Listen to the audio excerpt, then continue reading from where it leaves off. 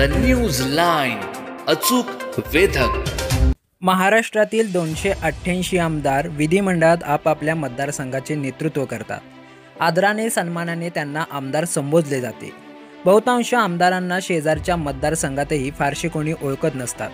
मात्र पारनेर विधानसभा मतदारसंघातून विजयी झालेले निलेश लंके हे आमदार अवघ्या महाराष्ट्राला सुपरिचित झाले आहेत. अर्थात कर्तृत्ववान व्यक्तीच्या कामातूनच ओळख निर्माण होत असते. आपल्या अविश्वसनीय व मानवतेचा धर्म जपणारी समाजसेवेची एक झलक आमदार निलेश लंकेंना सर्वदूर लोकप्रियता मिळवून दिली. कोरोना संकटात आमदार लंकेंनी केलेल्या सेवाभावी कार्याची भारतासह विदेशातील माध्यमांनी दखल घेतली. आज आमदार निलेश लंके त्यांचे मित्र राष्ट्रवादी युवक काँग्रेसचे कराड शहराध्यक्ष पोपटराव साळुंके यांना भेटण्यासाठी कराडला आले होते.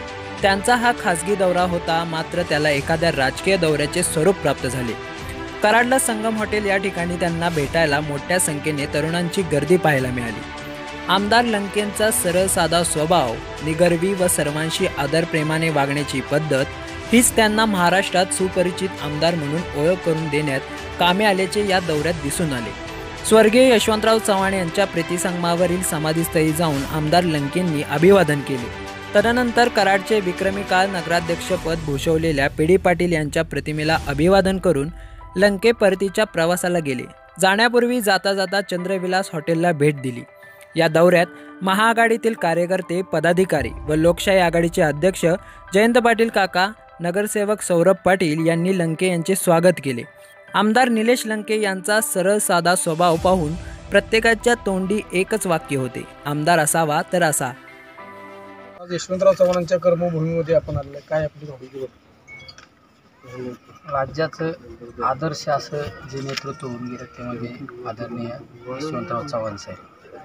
तुम्ही पाहिलं असेल चव्हाण साहेबांचं त्या ठिकाणी खूप आशीर्वाद त्यांच्याबरोबरीने त्यांच्या बरोबरीने आदरणीय पवार साहेबांनी सुद्धा काम केलं. आणि ही कराड ही भूमी एकदम पुण्यवंतांची भूमी आहे.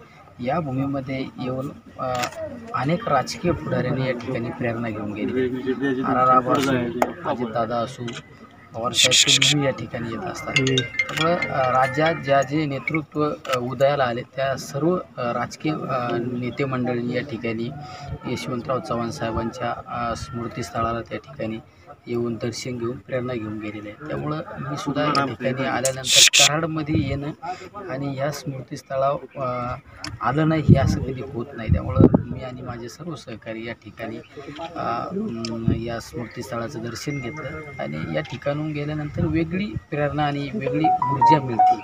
बऱ्याच वेळा प्रशासकीय अधिकाऱ्यांची संघटना असते. मग त्यातले काही अधिकारी जे आहेत ना ते लोकप्रतिनिधींना सुद्धा न जुमानण्याचं काम करतात. खरं तर लोकशाहीमध्ये लोकप्रतिनिधी हा जनतेचा आवाज असतो. आणि त्याच्या आवाजाला लोकशाहीमध्ये फार महत्त्व आहे.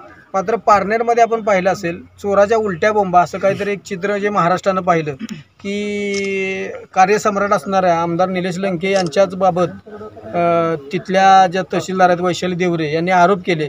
मात्र जे चौकशी अहवालात पुढं आलं ते सर्व महाराष्ट्रानं पाहिलं काय सांगाल त्या प्रकरणाबद्दल? काय असतं चांगलं काम करणाऱ्या माणसाला वेगवेगळ्या अडचणी असतात. एखादा अधिकारी वेगळ्या प्रकारे त्रास द्यायचा प्रयत्न करतो याचा अर्थ त्यामागे सुद्धा काही राजकीय हात असतात.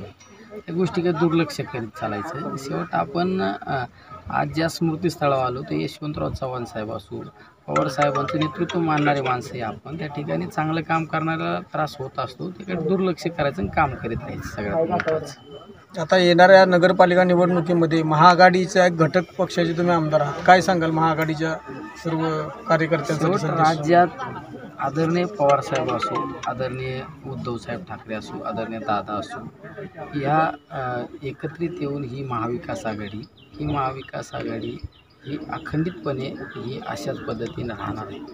त्यामुळे शेवट ना महाविकास आघाडीमुळे थोड्याफार थोड्याफार प्रमाणात कुरबुरी होत असतात तर त्यासाठी नेते मंडळी समर्थ आहे. द न्यूज लाईन अचूक वेधक.